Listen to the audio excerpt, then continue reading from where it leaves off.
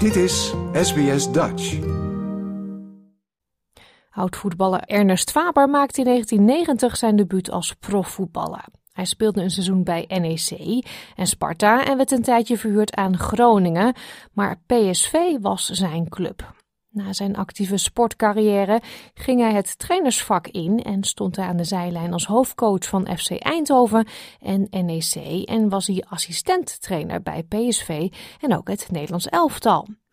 De afgelopen jaren was Faber verantwoordelijk voor de jeugdopleiding van PSV, maar in juli begon een nieuw avontuur in Adelaide. Bij voetbalclub Adelaide United, die uitkomt in de A-League, is hij begonnen als technisch directeur. We zochten Ernest maandag op in Cooper Stadium, maar die vertelde dat hij inmiddels best wel gewend is. Ik ben hier vanaf uh, eind juli al en uh, een paar mooie intensieve maandjes gehad, of weken. En ik heb wel zelfs meer na te denken bij, bij het linksrijden met de auto, dus ik stap aan de goede kant nu tegenwoordig in. ik drink veel hydratiedrank in plaats van vele koffie wat we in uh, Nederland doen. Het enige wat, we, wat ik nog af en toe wel moet doen is uh, frikandel speciaal. Ik zit weer aan de Brinta. met Griekse yoghurt met Brinta. Ja, dat is wel even wennen, maar... En dus ben ik helemaal weer uh, ja, thuis hier. Maar, maar, het grote verschil tussen Eindhoven dan, waar je werkte, en nu hier Adelaide? Um, de afstanden. De stad is groot. 1,3 miljoen inwoners. Um, alles is mooi uit elkaar gebouwd. Ze hebben heel veel ruimte hier nog. Heel veel mooie rechte wegen. Uh, allemaal drie tot zes baans. Iedereen rijdt ook gewoon aan de snelheid. Dus 50 is 50. Dus je valt als Nederlander heel snel op in het begin. Maar goed, je wordt ook heel snel geflitst hier. Dus dat, dat past. Leer je ook weer af? dan leer je snel af, ja. Het is een dure leerschool. Ik begin het heel erg wennen, maar nu, nu ik pas mij gewoon aan. Ik, uh, luister muziek of, of, of telefoneer of uh, podcast in de auto. En je hebt altijd wel 20 tot 30 minuten nodig om van afspraak naar afspraak te gaan. We zitten ook met de club zitten we in het stadion waar we nu zitten. Het trainingscentrum is ongeveer 20, 30 minuten rijden. En over waar we trainen of spelen is precies die 30 minuten die je moet rijden. Maar je past je aan. Ik had ook een beetje het gevoel toen ik in Groningen zat, van Eindhoven naar Groningen, dan, dan was de afstanden ook groter. Iedereen stapt daar gewoon in de bus, doet niet moeilijk en gaat zitten. Nou, hier gaat iedereen in het vliegtuig en alle uitwedstrijden is, uh, is vliegen. Ja. Iemand die moeilijk doet, allemaal netjes in de rij. Andere discipline waar ik gewend ben. Ja, heb je al met de bus of zo gereden? Waar mensen netjes in een rij gaan staan als ze de bus in willen? Nee, niet, niet met de publieke bus. Maar, maar de bus met de spelers is precies hetzelfde. Zij, zij, helpen netjes mee. Kijk, hier heb je nog één materiaalman. En, en, Eindhoven had je er drie of vier die allemaal eigen busjes hadden. Maar hier, alle spelers helpen mee. Iedereen wacht gewoon ook de tennisdirecteur die sjouwt die ballen, dus dat, dat, dat doe ik ook. En de hoofdtrainer helpt mee, dus dat is ook wel mooi om te zien. Wat dat betreft is, is het wie, wat ze vooral hebben, uh, het ergens bij horen, dat is wel belangrijk. En, en, ja, netjes in, de rij, dus ik sta ook gewoon netjes in de rij. En ik hoef niet meer voor te dringen zoals ik uh, misschien uh, gewend ben, maar de, het is comfortabel, het is mooi, lekker weer. het is niet dat ze regen hebben, dat hebben ze ook wel. En dan zie je wel dat ik nog een Nederlander ben, want in de regen gaat iedereen schuilen. Ik blijf gewoon lekker staan. Ik denk, nou, dat is goed. Dat is goed voor het gras. Um, ja, het, is, het, leven is mooi. Ja. Was de keuze moeilijk om nou, te beslissen? Je, je laat kinderen in Europa achter, Ze zijn al wat groter, maar toch, je zit aan de andere kant van de wereld. Uh, vrouw is mee, hè? Uh, maar was dat moeilijk om die keuze te maken? Uh, ja, ja, nee. Uh, eerst nee, omdat ik, ik ben hier geweest. Toen dacht ik van, nou ja, ik zou hier ook wel best wel kunnen gaan wonen met pensioen. Als ik straks klaar ben, dan ga ik hier lekker uh, met de familie heen. En dan genieten van uh, de mooie omgeving, het mooie weer. En ja, natuurlijk is het moeilijk omdat ik had comfortabel bij PSV, mooie job. Ik had nog een paar jaar contract. Dus ik had helemaal niet de behoefte om weg te gaan. Maar we hadden een partnership en ik zag de uitdagingen van in een rol die ik nog niet zou kunnen bekleden in Nederland. Ik had er net wel wat, wat vooropleidingen voor gedaan. Ik denk, nou ja, in de partnership die we hebben zou het een mooie kans voor me zijn. Komt die kans later nog? Heb ik dan nog de ideale situatie? Ik denk, nee, nu zijn de kinderen mooi. Midden twintig hebben het goed voor elkaar, kunnen zich zelfstandig uh, bedruipen. Uh, mevrouw komt mee. Uh, ouders nog uh, van mevrouw dan nog goed mobiel om, om ze uit te nodigen. Maar er zijn er helaas niet meer. Dus het ideale moment om, als ik hier wilde doen, was het nu. En zo is het gegaan. En dan ja, is het natuurlijk wel lastig, want op een gegeven moment zit je alleen. Uh, voor mij is dat als ik alleen zit, dan ben ik aan het werk. Dus dan heb ik de afleiding. Maar het is altijd moeilijk om contact te zoeken, omdat ik ga naar bed, uh, zij staan op, zij gaan naar bed en ik sta op. Heel, heel lastig. In het begin was ik s'nachts heel veel wakker. Maar nu ben ik eigenlijk meer, ja, het, het, ritme van Australië heb ik. En mis je natuurlijk wel het contact met, met de thuisfront. Dus, dus ben ik vooral heel erg bezig. Bij PSV was natuurlijk met, de, met de, de talenten, de academy bezig. Nu technisch directeur. Wat is jouw missie voor Adelaide United? Een missie? Ja, ik zie weer een mooie missie vanuit, vanuit de kernwaarden die ze allemaal hebben, weet je wel. Dus nou, de missie vooral is hier dat, ik vind dat er hier heel veel potentie zit. En niet zozeer alleen op het veld, maar ook zeg maar, rondom de andere werknemers. Iedereen is heel erg begaan, heel erg gepassioneerd. Ze willen allemaal bij de club horen. Dus, dus ja, een beetje zo'n beweging is hier. Uh, de, club is belangrijk voor de stad.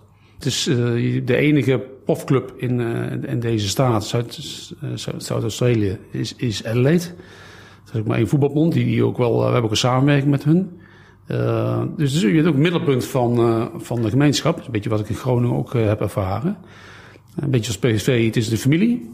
Heel comfortabel, maar ook fanatiek. Ze zijn eigenlijk bezorgd om de club, maar het is ook een soort movement. Uh, dat zie je ook aan, aan uh, echt voetbalstadion. Zit, uh, meestal zit het vol.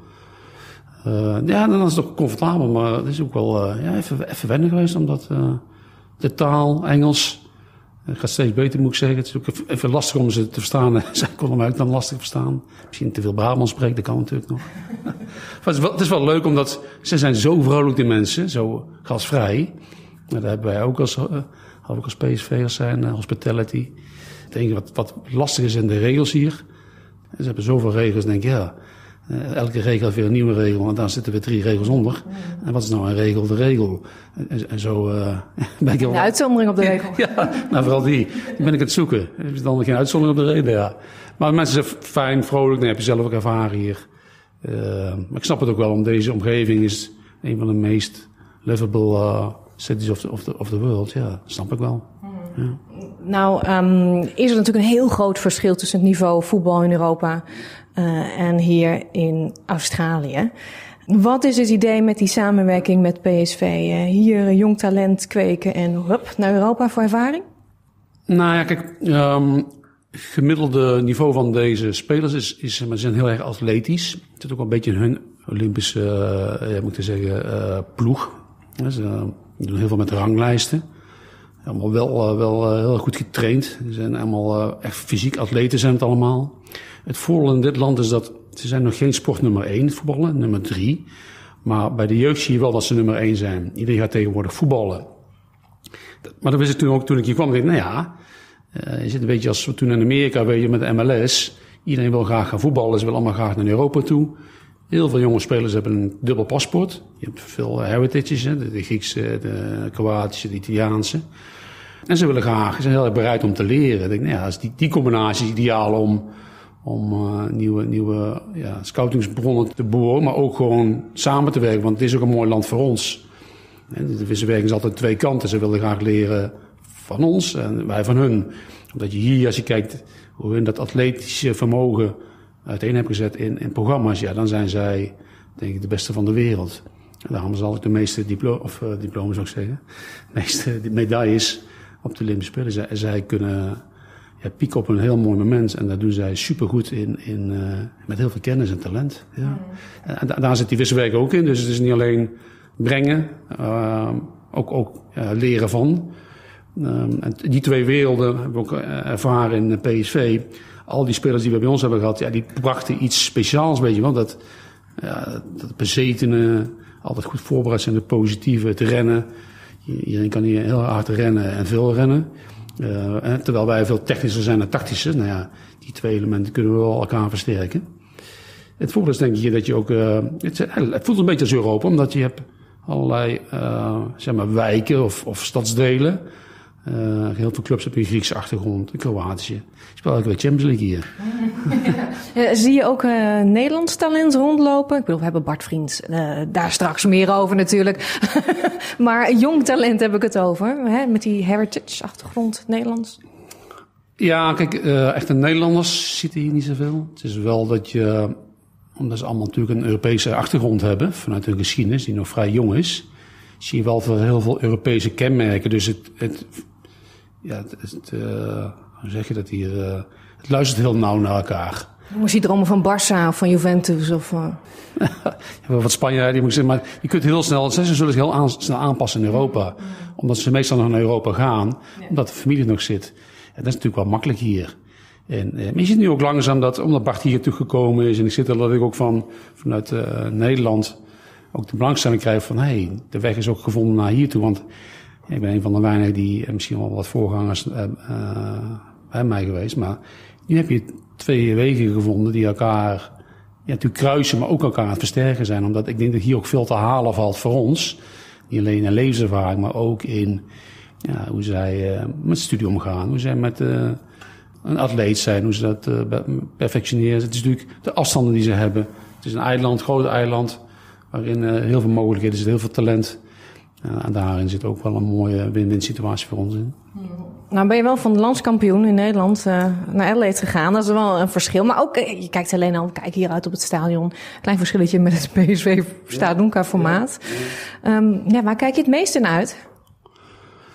Nou ja, kijk, eh wat kijk meestal natuurlijk de, de, de wedstrijden, omdat, kijk, is een beetje misschien PSV van een aantal jaren geleden. Ze wilden wat doen met een opleiding, ze wilden wat doen met een club. Ik heb natuurlijk 40 jaar gezeten in Eindhoven. En, en, er is een punt geweest waar ik zeg, hé, hey, dit is herkenbaar, hier zie ik het ook. En, en zij willen graag door. Nou, daar kan ik ze wel bij helpen. Want je moet ergens starten. Ze hebben allemaal heel veel goede ideeën hier, is echt perfect. Ze hebben wel mooie initia- initiatieven. Ehm het wachten zit er meer, een beetje meer, denk ik, in de regels die er heel veel zijn in dit land. Voor alles wat je moet starten moet je weer aan bepaalde regels voldoen. Maar het moment is wel herkenbaar voor mij. Ze wilden investeren in de jeugd. Ja, dat deden we in 2004 ook. En als je iets wil opbouwen met cultuur en DNA, met een bepaalde speelwijze, een soort, soort eh, blueprint voor het komende jaar. Ja, dat, die, die, momenten heb ik ook meegemaakt bij PSV. En daarin kan ik heel erg helpen, want ik ben er zelf bij geweest. Ehm, hier heb je alle mogelijkheden. Ze willen heel graag door, doorschakelen in de manier van opleiden. En niet alleen op het veld, maar ook eh, rondom het veld. Dat vind ik wel mooi. Ja, daar wil ik me graag een steentje bij. Dat we over drie jaar kunnen zeggen, hé, hey, daar ligt iets mooi. Dit is de manier van werken van, eh van eh LA United. Zo doen zij het talent opleiden. Dit is de manier van spelen. Maar ook hier is ruimte om andere mensen de kans te geven. Zoals we ook zelf zijn, we zijn een people's club. Waarin ze zeggen, ja, we zijn meer dan een eh, vo- voetbalclub. Beetje zoals Barcelona heeft. Nou, als dat, over drie jaar redelijk als basis staat, zou dat mooi zijn. Je zei net, ik begin wel een beetje thuis te voelen. Ik stap aan de goede kant van de auto in. ik heb even een klein testje. Ja, als jij eh, wordt gevraagd of je komt naar de is- We beginnen makkelijk dus. Wat, wat is dat dan? Ik wil niet weten. Je wordt uitgenodigd voor een Barbie. Barbecue. Ja, ja, ja. ja, ja. Heel goed. Ehm, maar dan word je gevraagd om snacks mee te brengen. Snacks. Snacks. Snacks. Eieren. Frikandel of niet? Dat zou lekker zijn. Mm, worstjes. Worstjes, ja. Worstje, worstjes, snacks. En als je je nou helemaal crook voelt. Dat vond ik ook een moeilijke zelf hoor. Van, hè, ik ben crook, ik kom niet vanavond. Beetje down of zo. Beetje ziek, ik voel me niet lekker. Ik ben helemaal crook, ik ben helemaal... pff. Daar heb ik weinig last van, moet ik zeggen. Tot slot, weet je wat je doet eh, als je naar de servo gaat? Servo. Servo. Is het toilet? Service. Eh, De service station, oftewel tanken bij de servo. Service, oké. ja, dat klopt. Ja. Moet je even kijken waar je moet gaan staan. Hè, met stuur aan de andere kant. Dat is even wennen. Ja, eh, jij hebt een korte naam. Ze houden hier van afkorting. Dat heb je denk ik wel gemerkt ook. Eh, heb je al een bijnaam?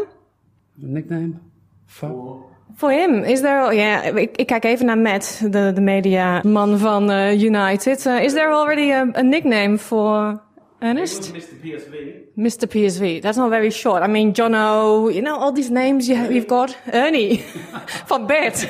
En de rest. We'll think of something. nou, heel erg bedankt. Heel veel plezier en succes ook met de club hier. Ja, dank voor je bijles. Vaker bijles kunnen nemen, want ik loop naar achter, hoor ik. Ik ben beter op de hoogte dan ik. Maar goed, het is, het is prettig hier, dankjewel. Leuk dat je er was. Wil je nog meer soortgelijke verhalen? Luister via Apple Podcasts, Google Podcasts, Spotify of waar je je podcasts dan ook vandaan haalt.